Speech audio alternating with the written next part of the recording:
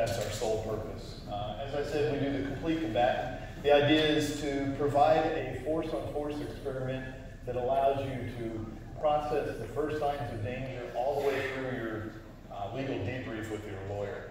So we do everything from top to bottom. And I thought it was a very important thing for the armed citizen to have their first chance to do that. A little bit about me.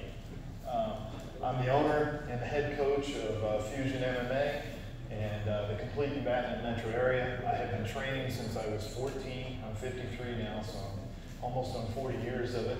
I, I'm a member here, expert witness and public speaker, Rangemaster certified instructor under Tom Givens.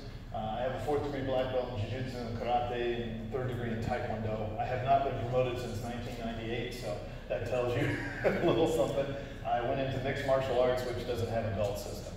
Um, I'm honors graduate of law of self-defense, member of active self-protection instructor. I compete in IDPA and USPSA, and uh, I am a compulsive trainer. Uh, I train constantly and all the time.